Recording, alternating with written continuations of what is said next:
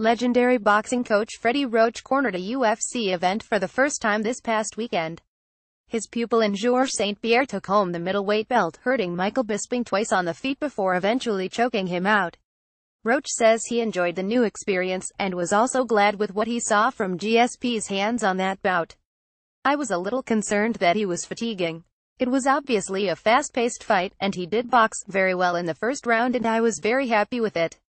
Bisping is a very tough opponent, he came back in the second round, Roach said on the MMA Hour.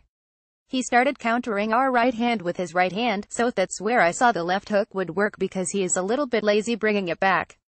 As for St. Pierre seemingly slowing down a little in the second round, Roach doesn't think it was the ring rust, and attributed it to him still not being used to his much bigger frame at middleweight.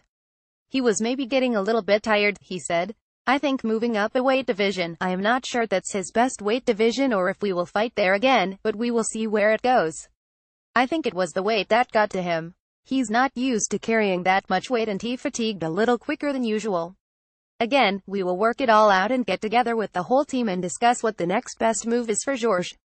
There are certainly a lot of factors to what St. Pierre's next bout is going to be, especially from a promotional standpoint, as White is pushing interim champ Robert Whittaker to be next in line.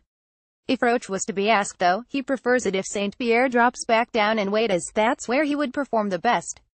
I won't make that decision myself. I will need help with the other guys.